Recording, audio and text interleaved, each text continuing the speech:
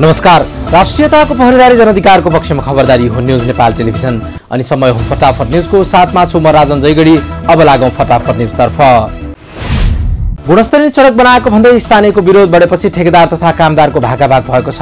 कैलालीको गोदावरी नगरपालिका वडा नम्बर एक चेतना टोलमा सडक निर्माण गरिरहेका ठेकेदार तथा कामदार स्थानीयको विरोधपछि भागेका हुन्। चेतना टोलमा सडक पिच गर्ने तयारी भइरहेका बेला स्थानीयले गुणस्तरको प्रश्न उठाएका थिए। गुणस्तर कमसल भएको दावीसहित स्थानीय विरोधमा उत्रेपछि ठेकेदार र कामदारहरू तात्न लागेको अलकत्रा छाडेर भागेका थिए। चेतना टोलवासीले सडक पिच गर्ने तयार गरिरहेको सडकमा बेस निर्माणको काम मापदण्ड विपरीत भएको दावी गरिरहेका छन्। स्थानीयले सो सडकमा वडाका जनप्रतिनिधिलाई समेत जानकारी गराएका थिए। स्थानीयको विरोधका बीच जनप्रतिनिधिहरू प्राविधिक सहित पुग्नु भएको थियो। गोदावरी नगरपालिका वडा नम्बर एक चेतना टोलका हिक्मत देउवाले मापदण्ड अनुसार सडक निर्माण भएकोमा कुनै अवरोध नहुने बताउनु भएको छ। हिक्मतले सडकमा नाली निर्माण पनि गुणस्तर ए नभएको दावी गर्नुभएको छ।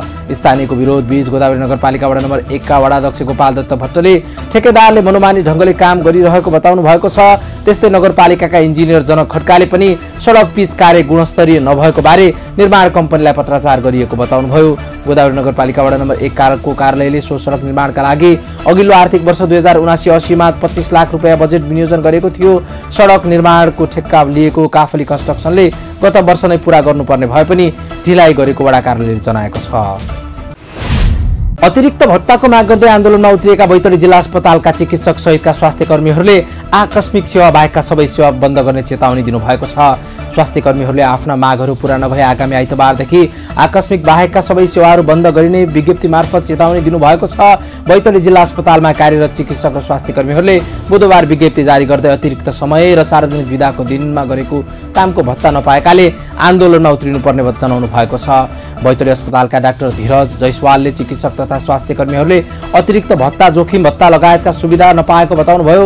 उहाँले अतिरिक्त भत्ताबारे पटक पटक सम्बन्धित निकायको ध्यान ध्यान आकर्षण गराउँदा समेत कुनै सुनवाई नभएपछि बाध्य भएर आन्दोलनमा उत्रिनु परेको बताउनुभयो बैतडी जिल्ला अस्पतालका चिकित्सक सहितका स्वास्थ्य कर्मीहरूले प्रदेश सामाजिक विकास मन्त्रालय स्वास्थ्य निर्देशनालय लगायतका निकायमा पटक पटक ध्यान आकर्षण गराउँदा समेत सुनवाई नभएको बताउनुभयो।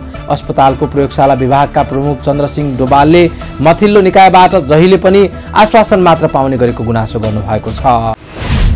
सुदूरपश्चिम प्रदेशको कञ्चनपुरको तत्कालीन महेन्द्रनगर नगर विकास समितिको जग्गा घोटाला प्रकरणमा अदालतले तीनजनालाई कैद सजायको फैसला गरेको छ।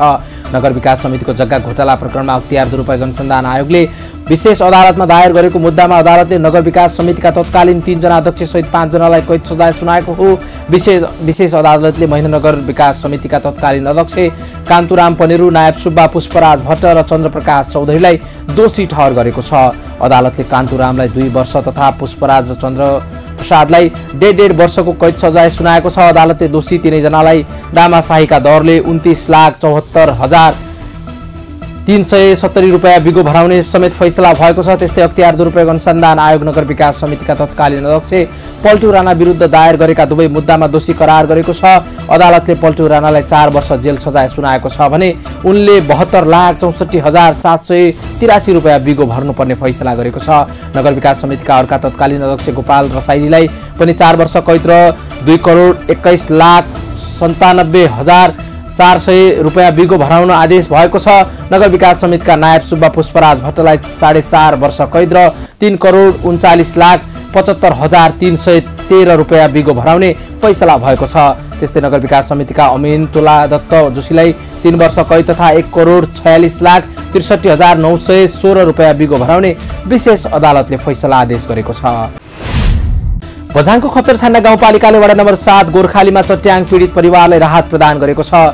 खप्तर छान्ना गाउँपालिकाका अध्यक्ष उत्तम उत्तम बहादुर रोकाए। उपाध्यक्ष विष्णु कुमार थापा सहितका जनप्रतिनिधिहरूले चट्याङ पीडित परिवारलाई बुधबार राहत सामग्री वितरण गर्नुभयो। सोमबार साँझ चट्याङ लागेर घाइते भएका चारजनाको परिवारलाई त्रिपाल भाँडाकुँडा लत्ता कपडा र खाद्यान्न वितरण गरिएको थियो। मङ्गलबार साँझ चट्याङ लागेर खप्तर थाना गाउँपालिका वडा नम्बर सात गोर्खालीका चारजना घाइते हुनुभएको थियो। घाइतेहरूको बजाङ जिल्ला अस्पतालमा उपचार भइरहेको छ। मातातीर्थ औँसीको दिन बुधबार बैतडीको पाटन नगरपालिका वडा नम्बर नौमा रहेको सिद्धेश्वर नमुना माविमा ज्येष्ठ आमाहरूलाई सम्मान गरिएको छ। बुधबार एक कार्यक्रमका बीच अठाइसजना ज्येष्ठ आमाहरूलाई सम्मान गरिएको थियो।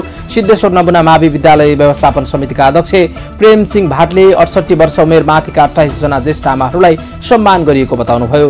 कार्यक्रममा विद्यालय व्यवस्थापन समितिका अध्यक्ष भाट विद्यालय प्रधानाध्यापक गणेश प्रसाद भट्ट शिक्षक अभिभावक र विद्यार्थीहरूको संयुक्त रूपमा ज्येष्ठ आमाहरूलाई सम्मान गर्नुभएको थियो।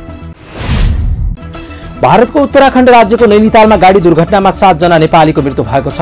दुर्घटनामा कञ्चनपुरका पचास वर्षीय विश्राम चौधरी पैँतालिस वर्षीय धीरज चालिस वर्षीय अन्तराम चौधरी अडतिस वर्षीय विनोद चौधरी पचपन्न वर्षीय उदयराम चौधरी पैँतालिस वर्षीय तिलक चौधरी र साठी वर्षीय गोपाल बस्नेत रहेको बताइएको छ।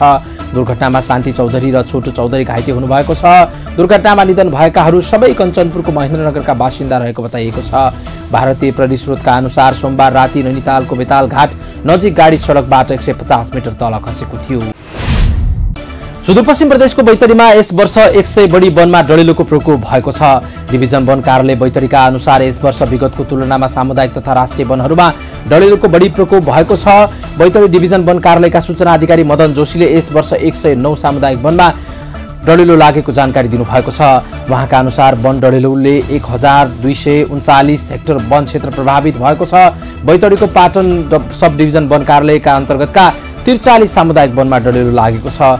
हाट सब डिभिजन वन कार्यालय अन्तर्गतका सामुदायिक र राष्ट्रिय वनका दस स्थानमा डढेलो लागेको छ। त्यस्तै रुद्रेश्वर देउलेक सब डिभिजन वन कार्यालय अन्तर्गतका चौध ठाउँमा डढेलो लागेको छ भने मालिका सब डिभिजन वन कार्यालय अन्तर्गतका चार स्थानमा डढेलोबाट प्रभावित भएको छन्। बैतडीकै मेलौली पुलाउ सब डिभिजन वन कार्यालय अन्तर्गतका छ ठाउँमा डढेलो लागेको छ भने सिगा सब डिभिजन वन कार्यालय अन्तर्गतका बत्तीस ठाउँमा डढेलो लागेको छ।